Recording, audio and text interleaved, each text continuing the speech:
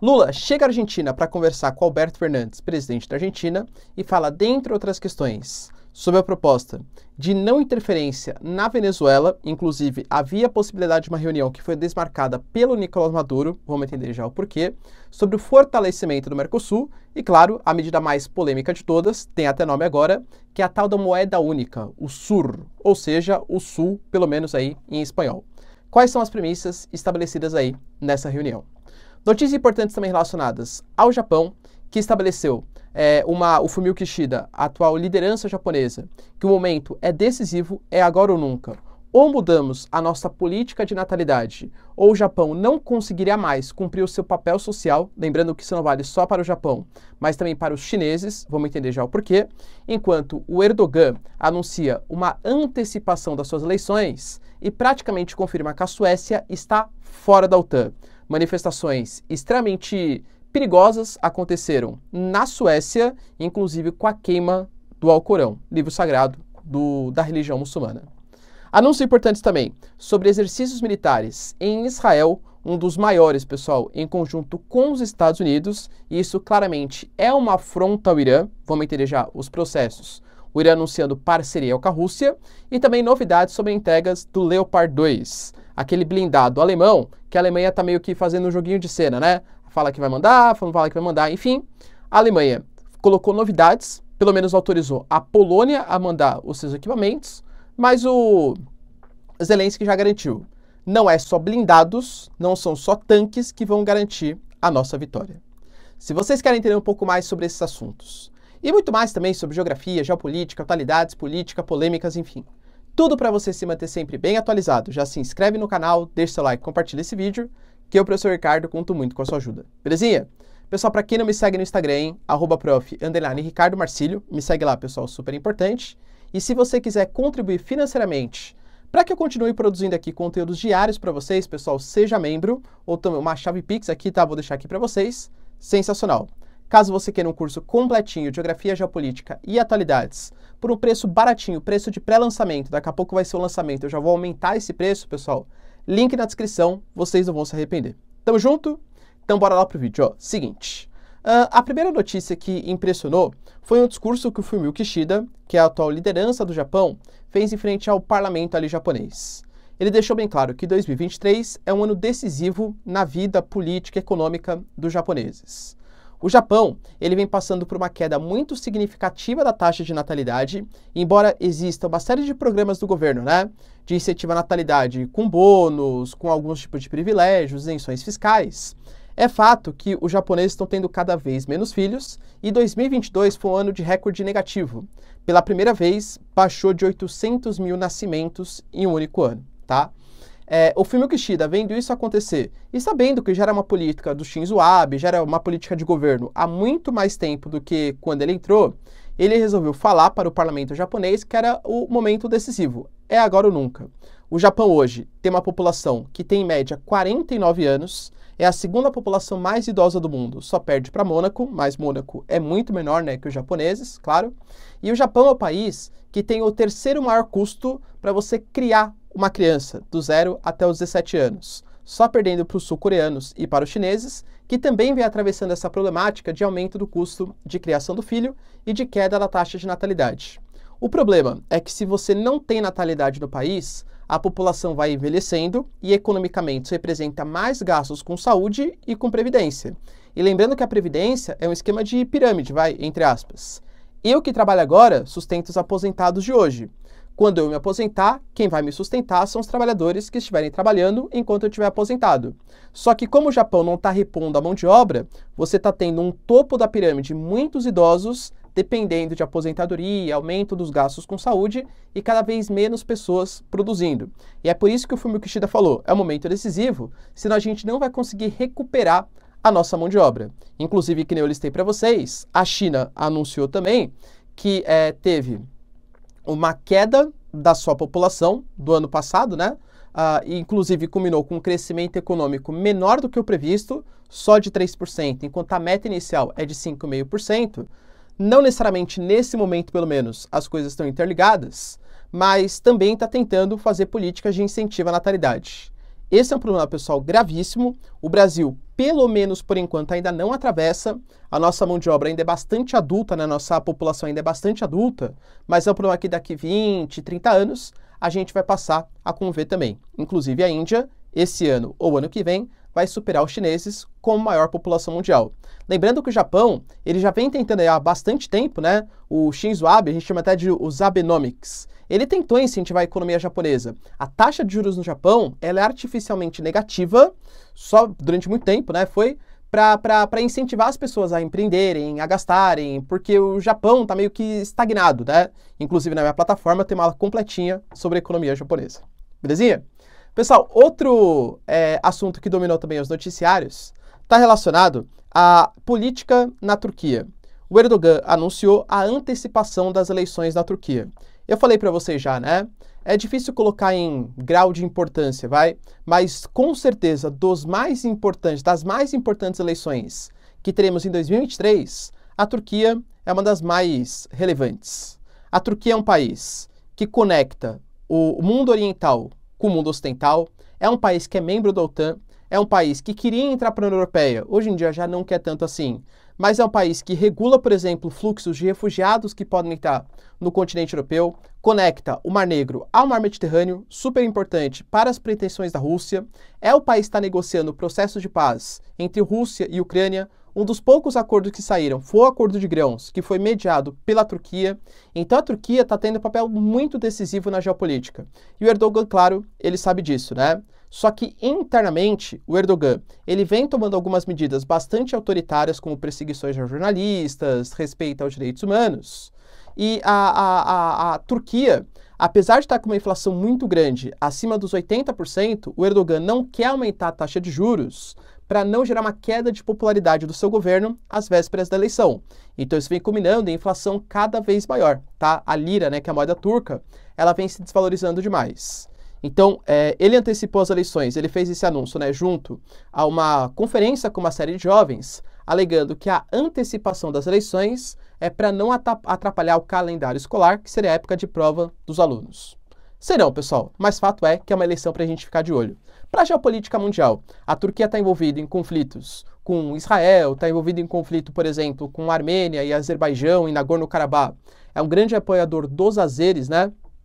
A Turquia, então é um conflito aí para a gente ficar de olho, uma eleição para a gente ficar de olho. E na Suécia, que vem sendo é, tanto a Suécia como a Finlândia, eu diria assim, boicotada pela Turquia para a entrada na OTAN, a Turquia alega que não pode aprovar a Suécia porque a Suécia faz vistas grossas a grupos terroristas, tá falando sobre o PKK, sobre os curdos, que habitam na Suécia e rolou manifestações, protestos ali na Suécia pedindo para a Turquia aceitar a entrada da Suécia na OTAN, porque só pode entrar se for um consenso entre os países que já fazem parte da OTAN.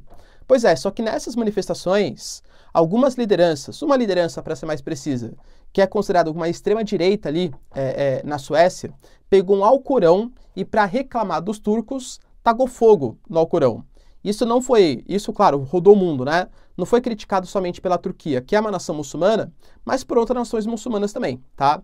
A Turquia, em contrapartida, teve manifestações no seu país com gente queimando a bandeira da Suécia. E aí o Erdogan falou: olha, com esse tipo de medida, eu já estava reticente. A gente não vai aceitar a entrada da Suécia.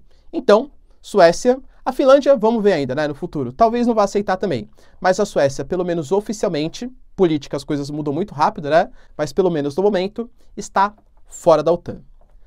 Notícias importantes também relacionadas a exercícios militares. Israel está fazendo exercícios militares com os Estados Unidos, que vai até o dia 27, se não me engano, né? Com uma série de equipamentos super importantes ali em Israel e na porção leste do Mar Mediterrâneo. Foi anunciado tanto pela defesa dos Estados Unidos como por Israel que é um exercício para consolidar a influência dos Estados Unidos no Oriente Médio e proteger Israel dos seus inimigos geopolíticos. Lembrando que o Irã, nesse momento, já tem uma capacidade de enriquecimento de urânio acima de 60%, já anunciou oficialmente que pode sim produzir as suas próprias armas nucleares e está finalizando um acordo de 25 anos, mais ou menos os moldes que fez com a Venezuela no ano passado, agora com os russos. Um acordo ali para integração política, integração econômica tal.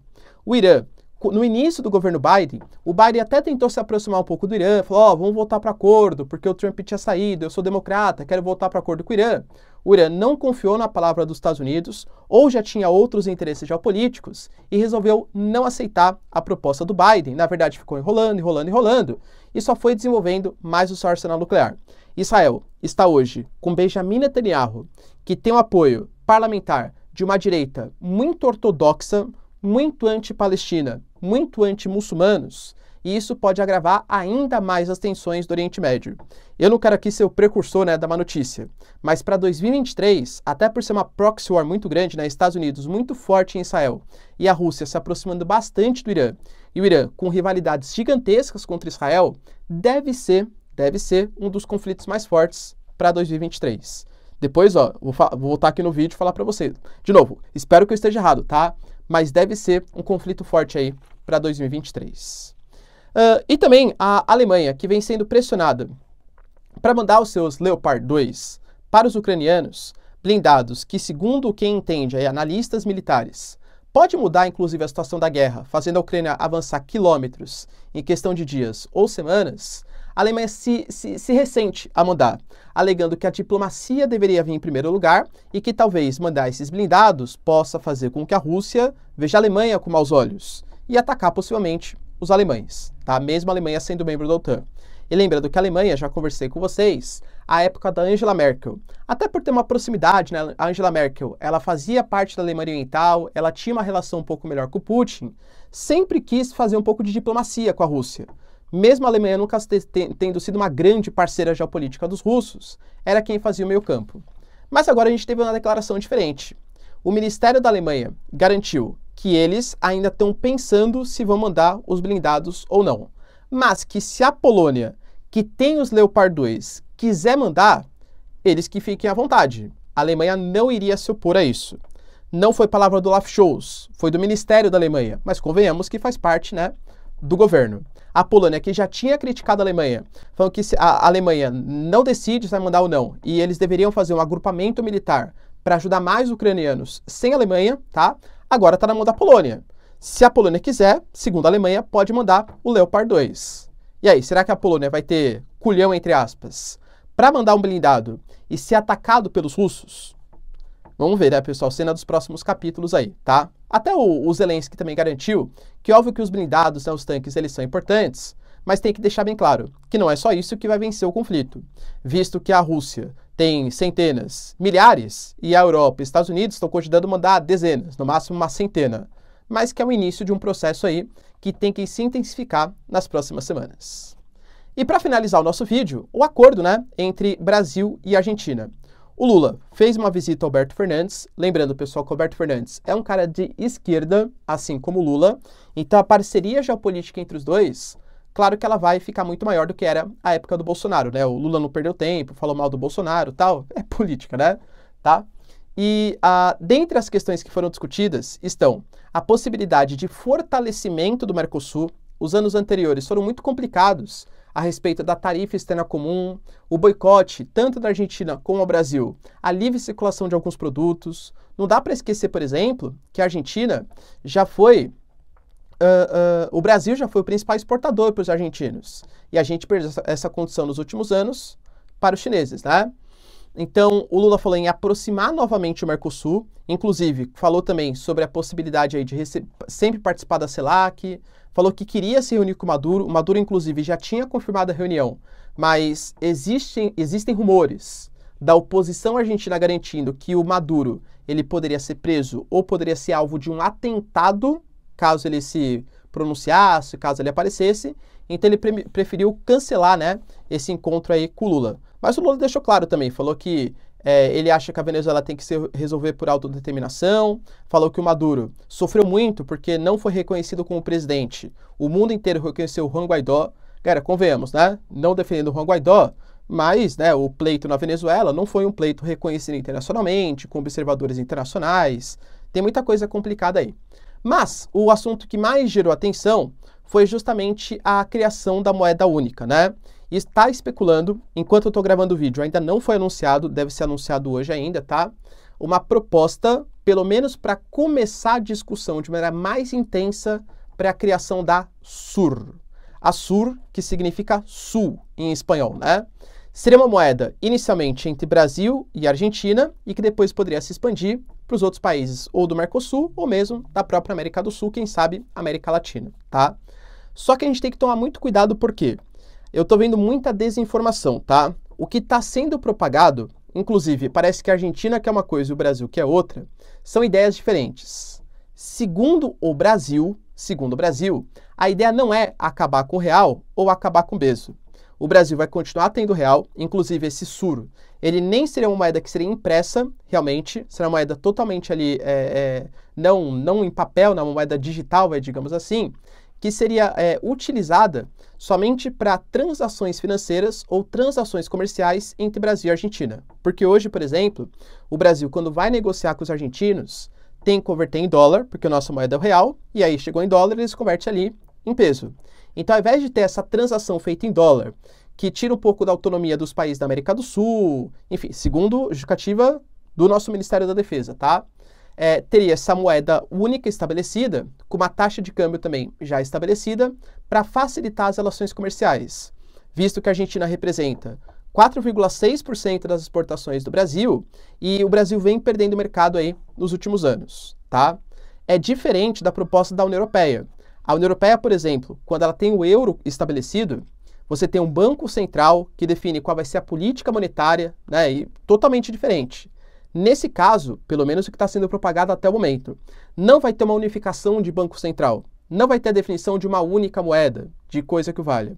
É só moeda para conversão, transações financeiras e transações comerciais. Essa moeda nem circularia internamente no Brasil, por exemplo. É só para desdolarizar e dar mais autonomia.